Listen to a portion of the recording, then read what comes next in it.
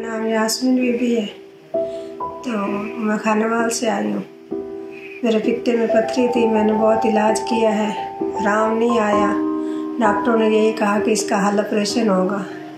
मेरा मियाँ फौत हो चुका है। मेरे पास इतनी कोई इनकम नहीं थी कि मैं अपना ऑपरेशन करवा सकती।